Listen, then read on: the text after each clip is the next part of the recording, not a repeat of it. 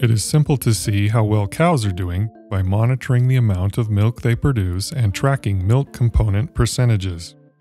But milk weights and component percentages on their own do not accurately allow dairy farmers to assess efficiency, profitability, or how to make economically based management decisions. This is where energy corrected milk, or ECM, comes in to improve decision making on farms and put all cows on an equal basis for comparative purposes in the herd over time. ECM determines the amount of milk produced and adjusts the milk to 3.5% fat and 3.2% protein. As an example, farmer Joe Smith wants to know more about how his 500 cows are producing milk each month. He knows what his milk weight and components were last month, but this month they are different. Using the ECM equation, Joe Smith can equalize his production values over the two month time period in order to evaluate performance with changes in feed, management, or cow environment during that time. In Joe's case, the equation for last month's production looks like this.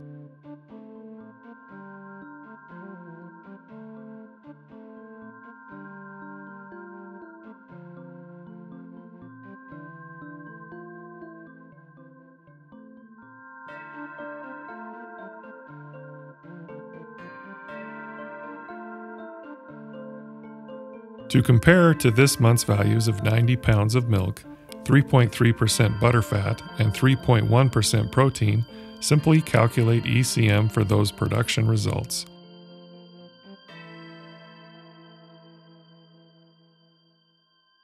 Without calculating ECM, Joe Smith might have thought his milk production increased by 5 pounds for that month, when it only increased by 1.2 pounds of milk. ECM is important because 1. Milk fat concentration is most sensitive to dietary changes and can vary in a range of over 3 percentage units. And 2. Dietary changes can result in milk protein concentration changing approximately 0.6 percentage units. Knowing the ECM value over time helps Joe determine feed ingredient response and optimize strategies like the cow's environment, cow comfort, genetics, and transition cow health. This is what improves efficiency and ultimately profitability.